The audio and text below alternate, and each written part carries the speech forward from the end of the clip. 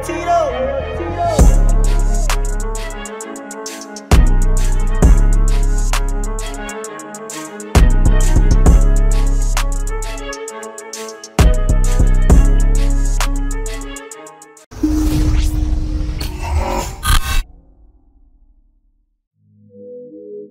For the transition strobe effect, find the spot where you want the effect to be.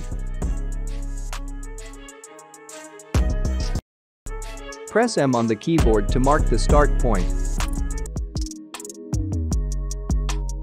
After that, create a new video track. Place the second clip above the first clip where the marker is. Use right arrow on the keyboard to go frame by frame. Then press S to cut.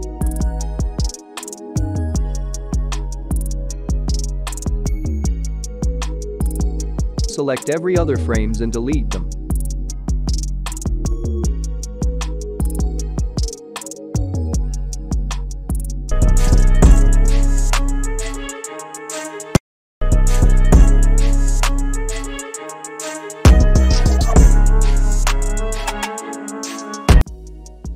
Now for the black strobe effect.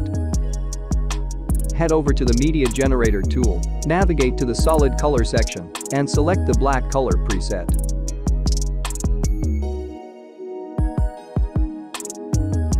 Repeat the same process as before.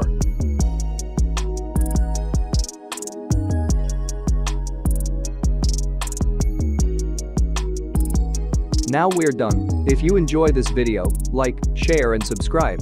I will see you on my next video.